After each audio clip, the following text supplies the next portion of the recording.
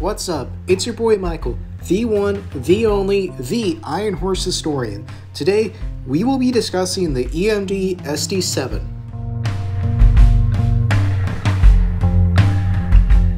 The EMD SD7 made its official debut in early 1952.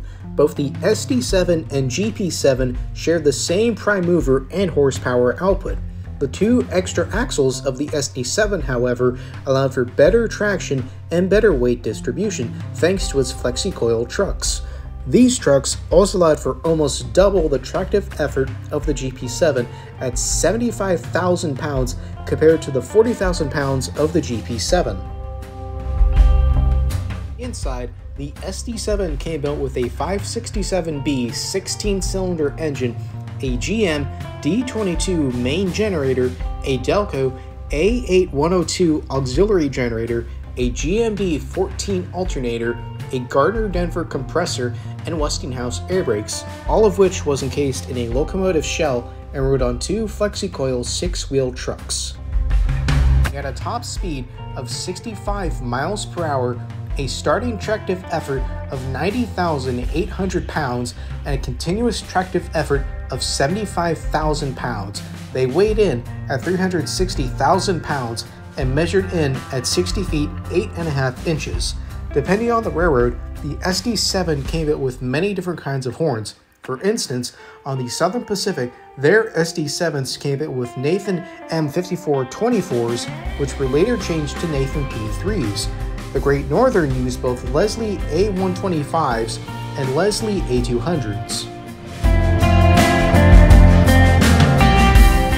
A total of 16 railroads operated the SD7. These include, but are not limited to, the Great Northern, the Baltimore and Ohio, and the Bessemer and Lake Erie. Out of all 16, the railroad with the largest fleet of SD7s was Southern Pacific, with a total of 43. Next came the Chicago, Burlington, and Quincy with 37, and last but not least, the Milwaukee Road came in third with 24 total units.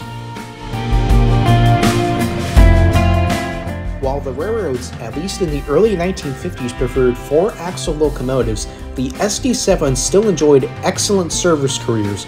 For instance, the Southern Pacific figured out that the SD7 was perfect for its stiff grades. In fact, many would remain in service until the Southern Pacific merged with the Union Pacific in 1996. Despite being 71 years old, as of 2023, a few SD7s remain in service. Some have been rebuilt into SD 19 1s for the Columbia Basin Railroad. They can also be seen working grain elevators in states such as North Dakota and Illinois. However, while many have been given a second chance, some, such as those owned by the Dakota Southern, remain in storage, unlikely to be fired up anytime soon.